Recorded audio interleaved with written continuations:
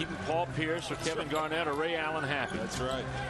He said, I can, I can get 15 assists and 30 points if I want. them. They tell everybody anything I want, and they got to listen.